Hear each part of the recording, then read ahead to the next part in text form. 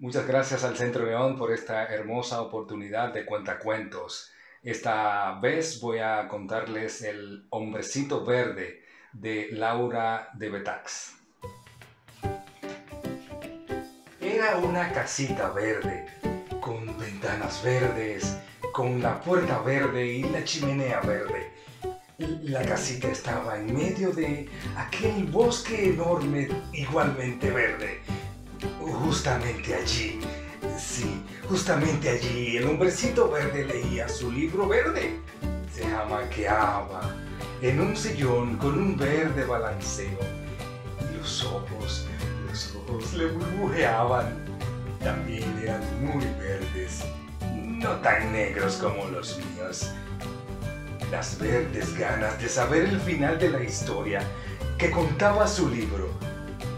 Verde de contento porque se había asegurado que nadie, que nadie, nadie, nadie vendría a interrumpir su momentito verde.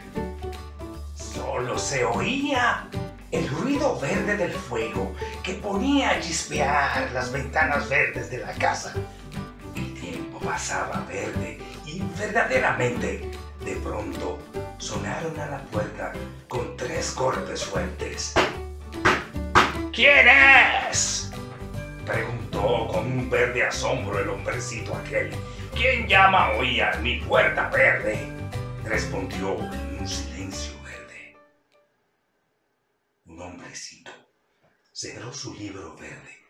Él caminó sobre la alfombra verde y con verde intriga abrió de un golpe la puerta verde de su casa. Ante él estaba el hombrecito rojo, que parpadeó rojamente confuso, con sonrisa roja y rojos pasitos para atrás, digo.